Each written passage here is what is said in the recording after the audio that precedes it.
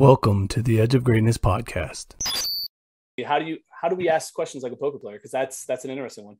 Someone recently asked me about uh, golf, and I said, "Well, I had a choice a few years ago, many years ago now. I was going to get good at golf or good at poker, and I just didn't think I had time to do both.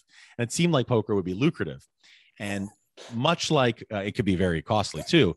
But and like they say in the movie Rounders, like there is luck involved, but it's not a game of luck overall. It's more of a game of skill with elements of luck. And when you first start, you're like, I don't believe that. Like it's it's pure gambling. But if you think about it just on a simple level, you're playing against nine players, not the house. So at the end of the day, you're literally playing against nine other people, and the house gets a cut. But the cut, if it's a fair game, is so small that it's just like paying a tax on the winning hand. So that's the simple framework. So I, I said to myself, if I'm going to get good at poker, if I'm going to play poker, I'm going to read books on poker. So I read 16 books on poker. Um, I got really obsessed with it. I watched rounders back and forth with the director's commentary left and right. I found every poker movie.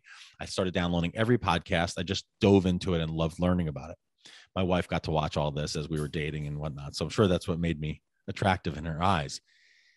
But one of the podcasts I heard, a guy was interviewing an online poker player and he said, when you're facing fourth street, the fourth card, and you're trying to determine what to bet, what is the optimal bet size on the turn? And it was like a very technical term, which just basically means what do you bet on fourth street?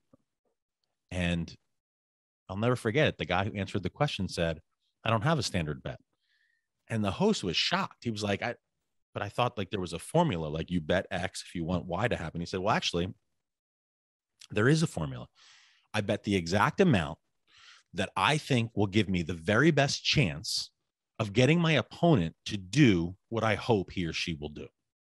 So if I feel that betting a dollar will get my opponent to put his life savings in the middle because I have the best hand, I'll bet a dollar. And if I feel that betting a million dollars will get the person to fold because I don't have the best hand, then I'll bet a million dollars.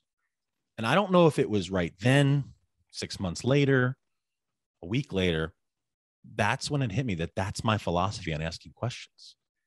I am going to ask my subject or my partner the question that I think will give myself and my audience the very best chance at extracting the value that I hope to get from this person. So, whatever I think, and I can I can morph that. If I want the the mood to change, I might ask a more somber question. If I want the energy to pick up, I may ask a funny question like you've done several times here today. If I want a longer answer, there's a way to do that. If I want a shorter answer, there's a way to do that. Um, if I want a person to tell a story, I may say, Tell me about a time when. And there's all these techniques that educators will recognize as having the footprints of backwards design. What do I want to have happen? I want to have the test created before the unit uh, it gets rolled out, and um, that's really good education, and I think it makes for for damn good conversations. Thank you for joining us today on the Edge of Greatness podcast. If you haven't yet, please take a minute now to subscribe and review our show.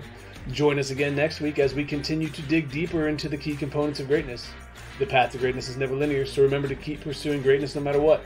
Keep stretching your abilities, reach for the stars, and fall flat on your face. But remember, no matter what happens, whenever we fall, always get up. Until next time, I'm Charles Schultz, and this was the Edge of Greatness podcast.